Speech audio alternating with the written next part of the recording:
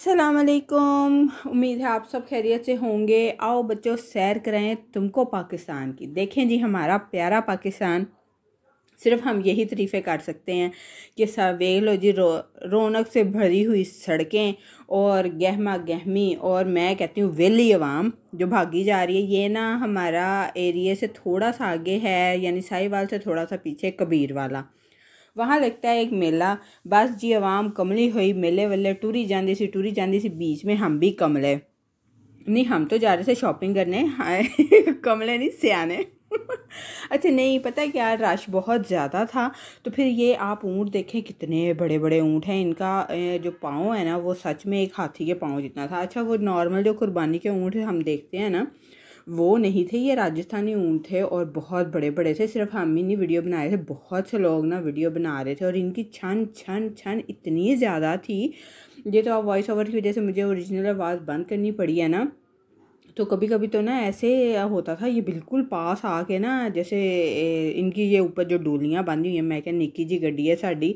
में कोई डोली शोली गिर जाएगी तो बड़े एहतियात से यहाँ से चलना पड़ रहा था। और कभी ये सड़क के बीचों बीच चल पड़ते थे और कभी साइड पे हो जाते थे। ट्रैफ़िक इतनी ज़्यादा थी ना और वो मेले की वजह से मैं कहती हूँ, जोक दर जोक लोग जा रहे थे। और ये देखे ना, आप यहाँ पे हशर देख लें और इतने बड़े बड़े ऊँट थे ना, इन, के इनके मालिक जो थे ना, बड़ा फ़ख्र महसूस कर रहे थे क्योंकि लोग जो देख रहे थे। और इन्होंने अपने ना, ये ऊँटों के ऊपर पता नहीं मेहंदी से टैटू बनाए हुए थे फुल बॉडी उनकी कवर की हुई थी मेहंदी से।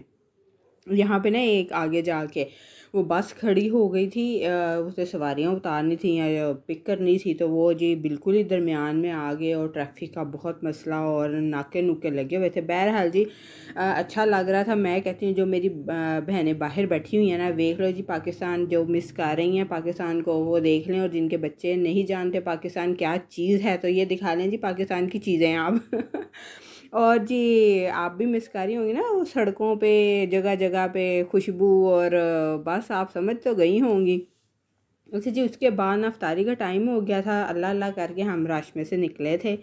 और फिर यहाँ एक ना, ये साहिवाल लड्डे पे बहुत से अच्छे रेस्टोरेंट हैं नॉर्मल टाइप ना तो उधर बैठ के हमने अफ्तारी कर ली थी। घर से मैं फ्रूट चाट और खजूरें लेके गई थी, बस बैठने के लिए एरिया चाहिए था, वहाँ बैठ के हमने अफ्तारी कर ली थी। और फिर हम आ गए थे शॉपिंग करने के लिए।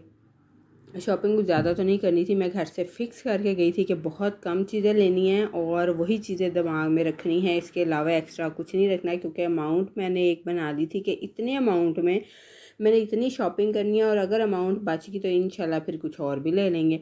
तो जी यहाँ पे हम ना पहले अच्छा बात बताऊँ, पहले हम गए इन सिगरियाँ पे। मेरा बड़ा दिल किया ना कि वहाँ से जूता ले लें, लेकिन नहीं जी, वहाँ से देसी बंदों को कहाँ वलैती चीज़ें पसंद आनी है। मुहावरा मेरी ज़ुबान पे एक बड़ा मज़े का आया था, पर मैं लिहाज कर रही हूँ कि हाय नहीं वाई टी पे बड़े पढ़े लिखे लोग भी देखते हैं तो क्या मैं पागलों की तरह वो मुहावरा देती फिरूँ? अच्छा जी, नहीं।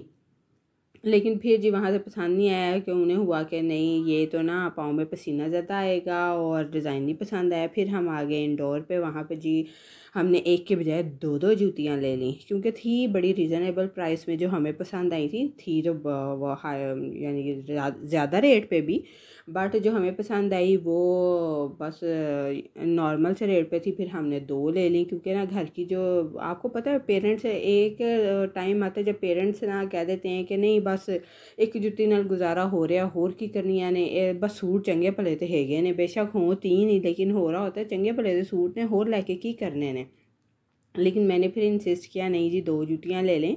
घर की जूती भी ख़राब हुई पड़ी है, बंदे ने अंदर बाहर आना जाना होता है खसूस आदमियों ने तो अच्छा नहीं लगता, फिर होंगे हाँ बूढ़ी सारा कुछ ही खा गई तो बंदे तो कुछ नहीं लाती तो ये ये आवाज़ें ना ज़्यादा ससुराल में से ही आ रही होती हैं।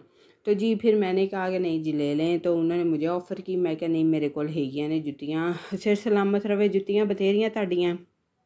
तो जी, फिर हम आ गए थे खाड़ी पे, क्योंकि खाड़ी से मैंने ना लेनी थी।